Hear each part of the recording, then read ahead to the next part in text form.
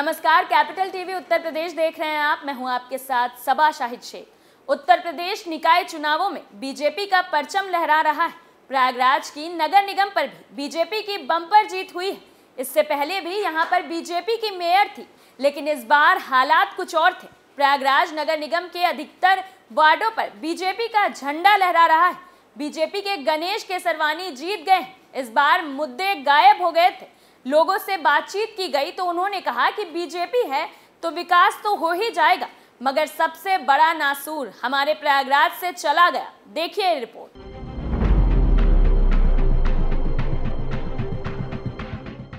विधायक राजूपाल हत्याकांड के मुख्य गवाह उमेश पाल की हत्या हुई।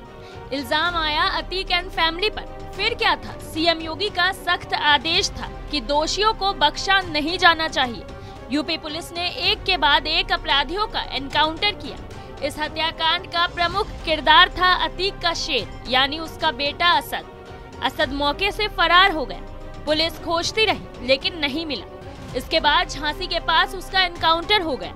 प्रयागराज के लोगों के लिए असद का एनकाउंटर बहुत बड़ी बात थी, क्योंकि उन्होंने अपनी आँखों से अतीक फैमिली का अत्याचार देखा और सहा वहीं सीएम योगी नगर निगम में अपने प्रत्याशी के लिए वोट मांगने प्रयागराज पहुँचे थे।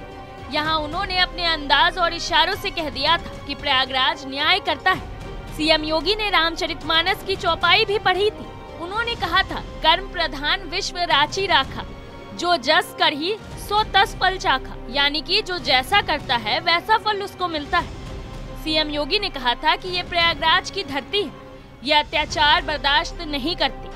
वो न्याय करती। है जिन लोगों ने न्याय किया था, उनका न्याय प्रकृति ने कर दिया। सीएम योगी की हर बात पर प्रयागराज की जनता नारेबाजी कर रही थी। अब जब वहाँ चुनाव हुआ तो वोटर्स ने बीजेपी को झोली में भर कर वोट भी दिया है।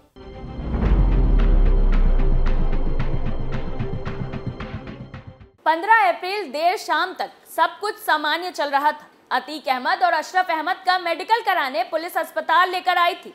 जैसे ही पुलिस कड़ी सुरक्षा में उसको लेकर पहुँची, तभी तीन लड़कों ने ताबड़तोड़ गोलीबारी की। इसमें अतीक और अशरफ की मौके पर ही हत्या हो गई। इसके बाद प्रयागराज में सन्नाटा पसर गया था।